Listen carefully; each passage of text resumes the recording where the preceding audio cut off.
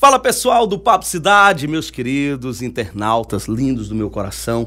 Obrigado para você que já se inscreveu no nosso canal. Obrigado para você que deixa aí o seu like. Olha só, quero mandar aqui um beijo no coração do meu prefeito Bruno Silva, lá da cidade de Coelho Neto. Meu amigo Samuel Bastos, grande secretário de comunicação, uma das mentes mais brilhantes desse meio comunicativo que eu já tive o privilégio de conhecer. Forte abraço, meu querido. Olha aí como ficou aí o seu belíssimo trabalho para essa linda cidade de Coelho Neto.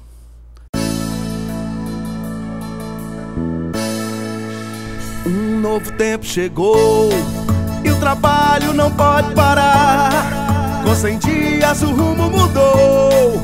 Coelho Neto em outro patamar. Na saúde foi prioridade. A Covid nós vamos vencer. Fazendo escola e ponte pra gente. Em 100 dias já podemos ver. Servidor sorrindo feliz.